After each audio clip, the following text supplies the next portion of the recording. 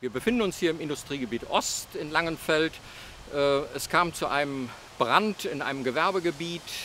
Äh, alarmiert waren im Prinzip der Löschzug 2, die hauptamtliche Wache, die äh, Führungsunterstützung und der diensthabende B-Dienst waren in der ersten Phase hier im Brandgeschehen eingebunden. Es war im Prinzip bei der Anfahrt hier schon äh, von weitem zu erkennen, dass äh, Feuerschein sichtbar war, große Rauchentwicklung.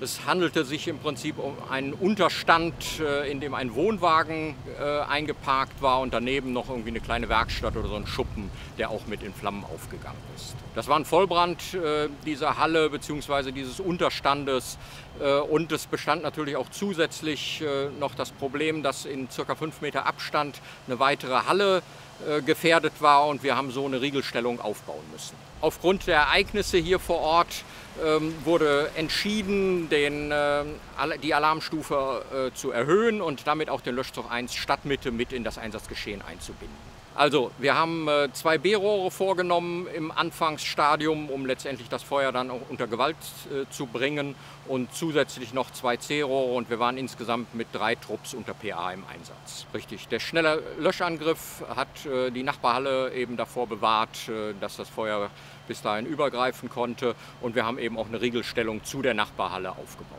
Ja, die kleineren Verpuffungen waren natürlich in der Anfangsphase sehr stark.